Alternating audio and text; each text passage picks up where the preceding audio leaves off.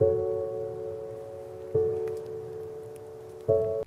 guys and welcome back to another video. I'm just here to quickly pop in and let you guys know what I'm doing in this video. So I'm just to be basically doing some pencil sketches that I believe I mostly cut out just because it's just easier for me to prop up the book instead of laying it flat for recording. Um, I'm to lay a few washes of watercolor and then go in with ink. Um, if you guys do enjoy these types of videos, I'll do my best to record as many as I can and post them probably on Wednesdays and then other videos like watercolor speed paints or like some other kind of longer video probably for Saturday. Um, but yeah, thank you very much for the support and I hope you guys enjoy watching the rest of this video with just music in the background. Bye!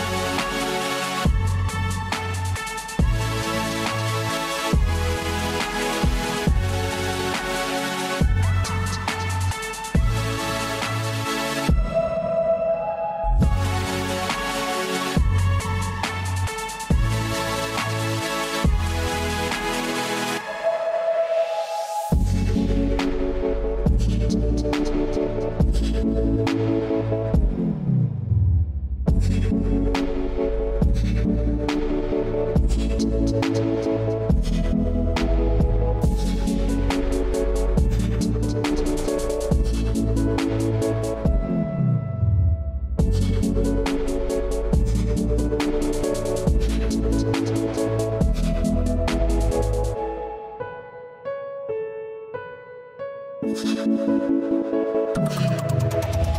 フ。